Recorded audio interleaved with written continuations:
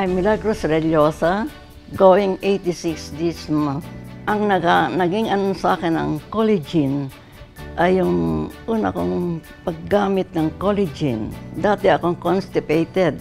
Nang gumamit ako, first day ko, ah, agad umepekto sa akin. Tuloy-tuloy na yun, naging regular na yung aking movement bowel.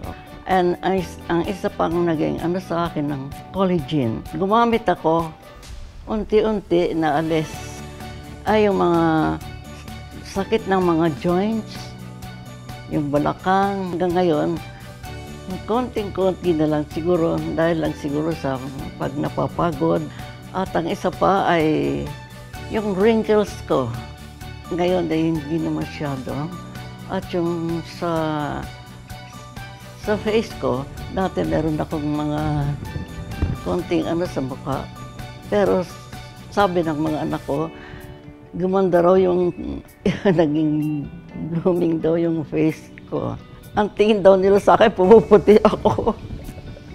mga two, two months pa lang ako gumagamit ng collagen. Pero napaka laking effective na sa akin.